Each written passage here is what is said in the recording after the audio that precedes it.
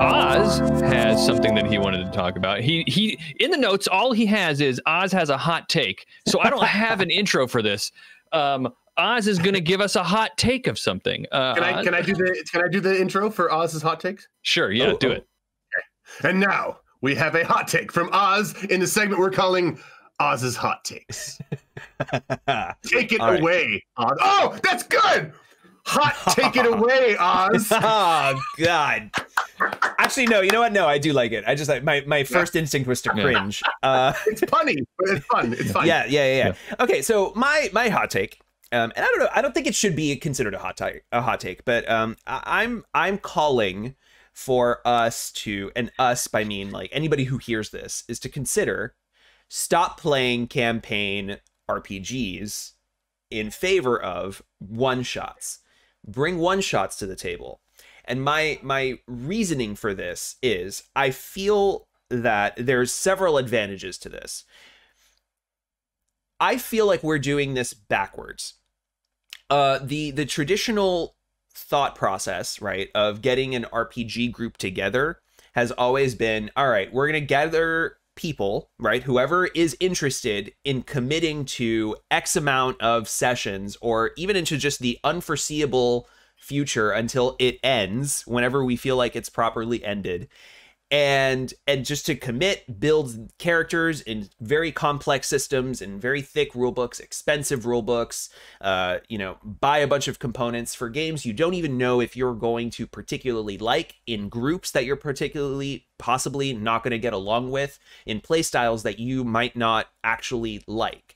And people start feeling locked into these groups and and guilty when they're like guys i don't think that this is for me. I want to walk or and and then just kind of throws the campaign possibly for a complete loop right? Mhm, and it just started hitting me recently that we have so many games that don't get played. And mind you i'm not saying that you can't that you can't play d&d as a one shot or shadowrun as a one shot or Sure. like super complicated games that way but bring pre-gens for those games and be like hey we're playing this. And if somebody already knows those rules great. But i don't understand why we have the one person who has to take it upon themselves to learn a 500 page rule book and start building this comprehensive setting and and world and plot line for uh, an indefinite period only to find out that you know they can't even bring it to the table because they can't get the commitment or you know like they brought it to the table once and then nobody was interested in continuing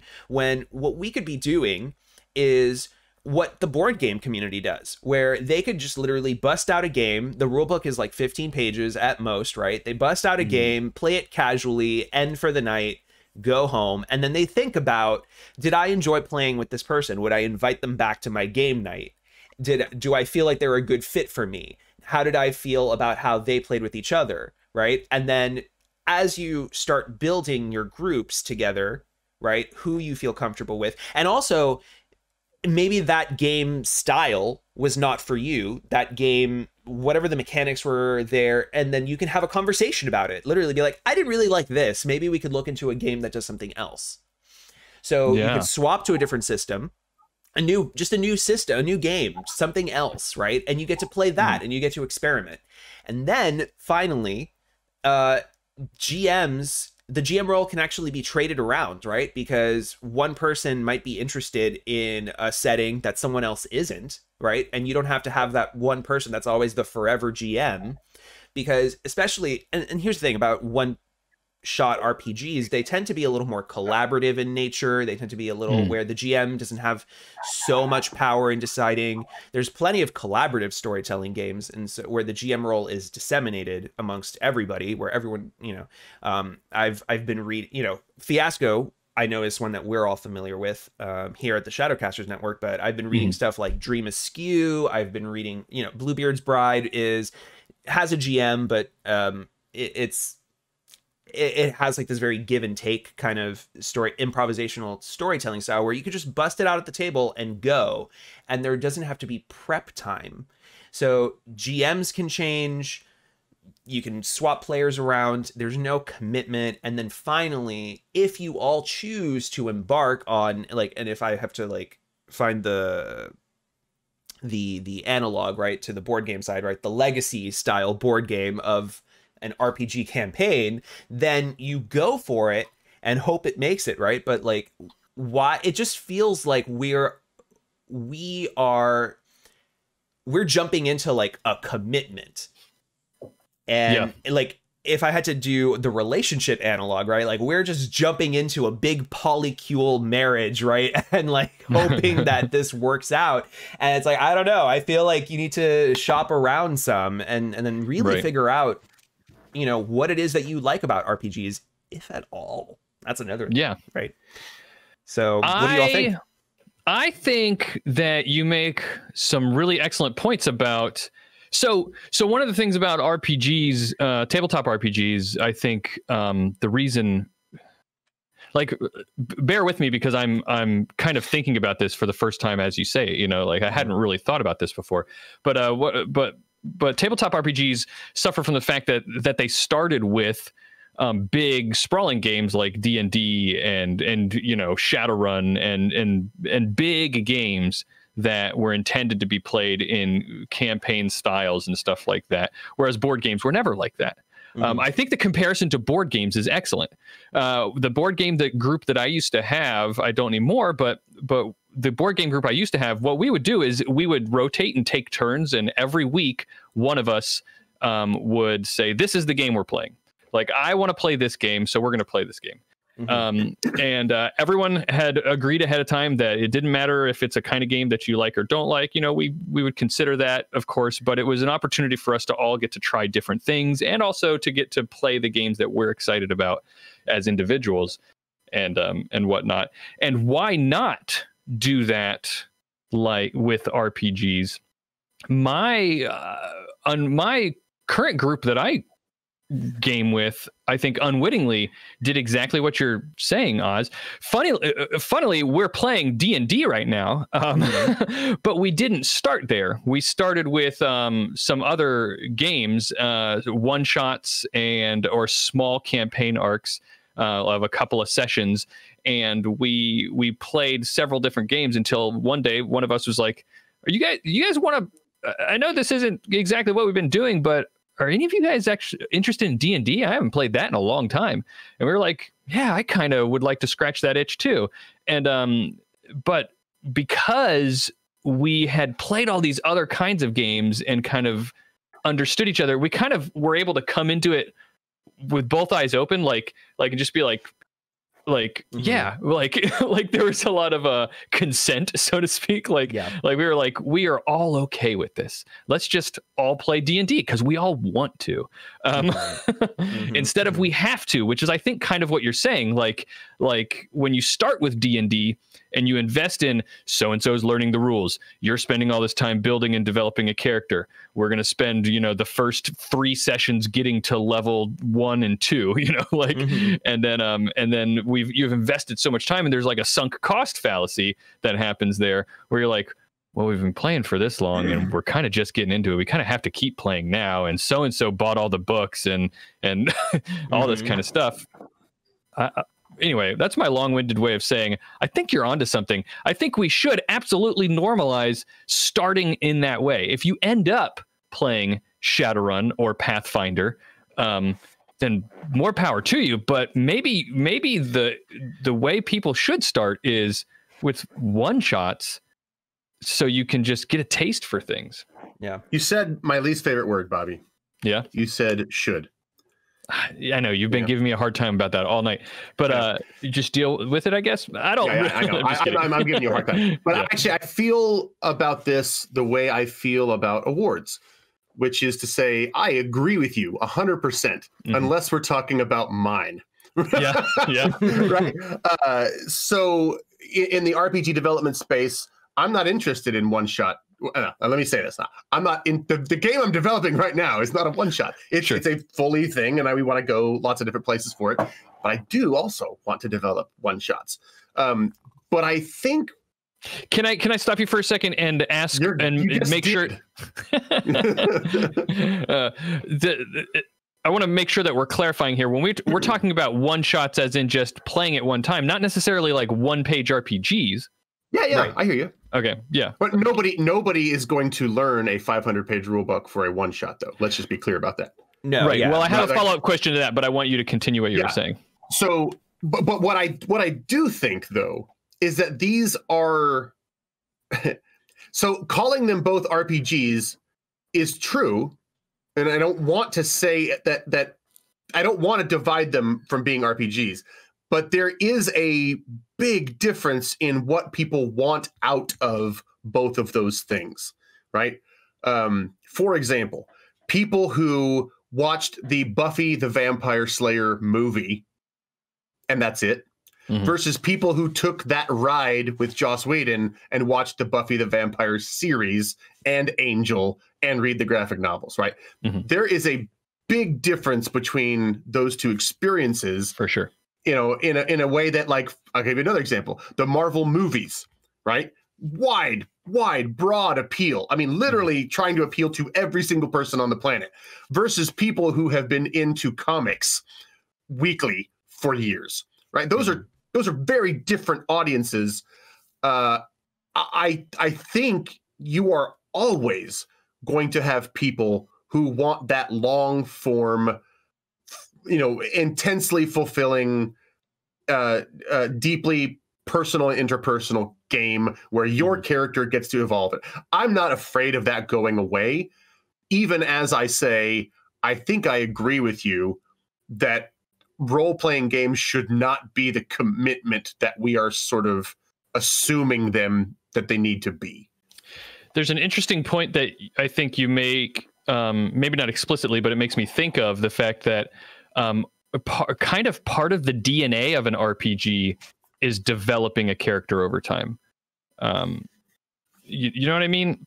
But I Like I, know like, that's not. you get I to know that's not technically required, but but but It's think about fulfilling. you you Yeah. like it. It, it hits, if you it think hits about the button. RPGs as Yeah. video games, part of the RPG genre in video games is you've got you you have skill, you earn skill points, and you Yeah. develop a character, or you learn new things, or get new Mm-hmm. abilities over time. You know, stories where nobody changes are boring stories, frankly, right? So Right, stories where your character has a narrative or or skill or you know some kind of growth arc is there that's good storytelling. But I mean, then I feel like you're, you are you implying that that those kinds of arcs can't happen in a one shot? No, no, no, no, no. What I'm saying is that you are going to continue. If you have a character who has unlimited buttons that you can Mhm. push for growth on them, there's going to be a group, somebody, there's going to be a, a group of people out there that will want their character to inhabit that will be theirs that they can keep pushing that button on that character over and over again. Right. That's that's how I feel. Right. I know that there are people out there who inhabit their characters beyond. I don't want this character to leave. I want to play this Mhm. character again. I want them to have adventures. I want them to Mhm. experience everything. Um, and I'm not saying to not No, do that. no, I of course you're not. Yeah. Because Like uh, we understand you perfectly, right? Mhm. But the world we live in now is that RPGs are accessible to way more people. And I don't think that just because that's the case, we need to say, okay, great. This is in the cultural zeitgeist. People can play RPGs without stigma now. Let's plan the next four years of campaigns. That's not the next logical leap. The next logical Right. leap is, I think, what you're saying, which is, hey, well, why don't we dip our toe in and play kids on bikes, you know, for a week or two? yeah. Yeah, and then it's like, oh my god, I love this. Well, do you want to continue this, or would you like to go a little bit deeper? Right? Like those are those are dances that absolutely can happen. And no longer do we have to just say, okay, cool, here's a player's handbook. Come back to me when you've read it. yeah, Right? Right. yeah, Right. We have options now. Exactly. And options I think are such a big part of this because like the the board game community in particular, I mean there the the games you can play are just and that people are willing to play. It's very eclectic. I mean when we're Yeah. when you're looking at, you know, Wingspan, a board game about bird watching or Yeah. Catan, let's trade some sheep. Like somehow these take off and they become like, you know, and so I don't feel like we really give that kind of opportunity to so many awesome RPGs because the the mentality, as Bobby had mentioned, right? Like we started with big sprawling campaign games, and then that's that we haven't really unstuck ourselves from that train of thought, Yeah. and we Right. really should be looking at Yeah. building play groups that we're going to enjoy playing together with. Yeah. That and we know each other's styles and what we want to put up with long Right. term. If Yeah. we now Paul, Palmer Palmer makes a point and says he says um, in the chat for me when there is an advancement I'm not going to play it more than a couple of times. I think I totally understand that, but I want to say and and I'm not uh, forgive me if I'm putting words in your mouth Palmer, um, but I don't I- I wonder if you're saying that as a negative. I don't consider that to be a negative that you might only play it once or twice. Using the board game analogy, which I think is very apt in this discussion, Mhm. um, I've got more than half of the board games on my shelf I've only played one time, and I w- Yeah. I'm perfectly happy having bought them because it was a very enjoyable experience, and and I might play them again one day. Right. If you pay fifty dollars for a game and you and your friends play that three times, that is more that is more of a of a communal relational experience than if you guys were to have gone to four or five movies Yeah, and it was half the price. Yeah. I think absolutely. If somebody plays my game three times, win. Fine, great. Yeah. I'm fine with it. Yeah. I mean, like, yes, I'd love it. You know, if you'd if you'd come to tournaments and and and read all the books and and get into the lore and come onto our forums. But like, hey, you Sure. buy my game and play it three times, win. Good. Yeah. Yeah.